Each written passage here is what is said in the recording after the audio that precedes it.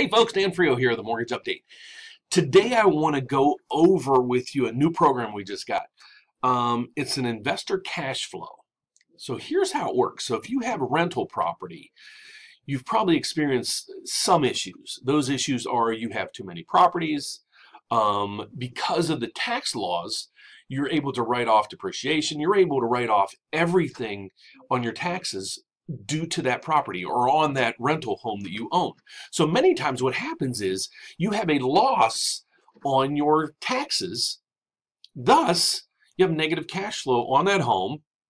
Thus, you can't qualify for a mortgage because you're you're not making what we call your debt ratios too high. And that's all your debts divided by your uh, income. So I have a program that should help almost every investor out there and it's called the Investor Cash Flow Program that we have. And I'll put the link down below um, to, to how you can get in contact with me and some of the parameters behind this. But let me just highlight a few things. So if you have any rental properties, check it out. You can go down to a 660 credit score. All right. How you qualify. This is how these loans qualify you take you figure out what your mortgage payment is going to be. The principal interest taxes insurance if you have an uh, association fee anything in regards to your mortgage payment what that is okay? Now you compare that to the lease income or the rental income you receive on that property. What's going to be used for that is your lease or the appraisal. When we do the appraisal on a property it's going to give us a rent we call it a rent roll or rental analysis whatever one of those is lowest. So let's say we do an appraisal and it comes back and your lease for some for some reason is 1500 but the market rents in the area are 1400 what's being used is 1400 in this equation okay? So now let's compare these things. What i'm getting at is this cash flow program. Here's how it works. We take what your mortgage payment would would be Again, all the taxes, insurance, the PMI, PITI, all that with the association fee. As long as that payment is equal to or less than the rent rolls on that property. They're either, again, the rent, um, the lease or the rental analysis on the appraisal. So again, you have your payment, what your payment's going to be, and then you have that rental income analysis. If your rent covers this mortgage payment or exceeds it, you qualify. So let me recap this again. Basically, the, the whole thing is, in a nutshell, your complete mortgage payment with everything included, if it's equal to or less than how much rent that property is getting, you qualify. Um, well, as long as you meet the other credit qualifications. But income income wise, that's all. That's how you qualify. You go down to a 660 credit score.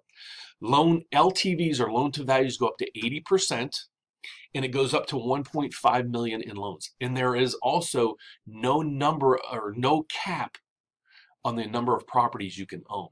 So again, if you own a own a property, it's it's a rental property, and you need to refinance, this program is and you're having let, us say you're having trouble qualifying for a standard loan. So you can't compare it to well i'm here's my rate over here because the rate's a little bit higher. It's not way out of whack but it is higher than normal conventional loans. But what you got to look at is you don't qualify for this. We'll try to get you into this program first. If you don't we can get you into this program. And many times it's your the reason why you can't qualify is your debt ratio. So again this one is as long as your rents equal to or exceed what your complete mortgage payment would be, you qualify. So there's no debt to income ratio factored. You can have a hundred different other rental properties and it still works. So let's get down to the credit issues. Um, 660 credit score. You have to be two years out of foreclosure, short sales, uh, bankruptcies, deed in lieu. Um, you have to own another property. So you have to own a primary home to do this. Um, but other than that, like I said, 660 credit score, these are kind of the parameters behind that 660 minimum score to get into the program. The program will go up to an 80% loan to value. Um, you can cash out, just pure cash, up to, I think it's 70% loan to value. Um, and again, it's, it's one through four unit residential properties. There's really no debt ratio calculated. Again, as long as the rents equal or exceed what your complete mortgage payment's going to be. Um, those are those are basically the basic tips of this. I just wanted to do a short video. We have this program available to us now. So if you're running into any issues or you have some rental properties you need to pull out cash and you're having uh, uh, you know problems qualifying with debt ratio, please let me know. I'll put some of the criterias down below.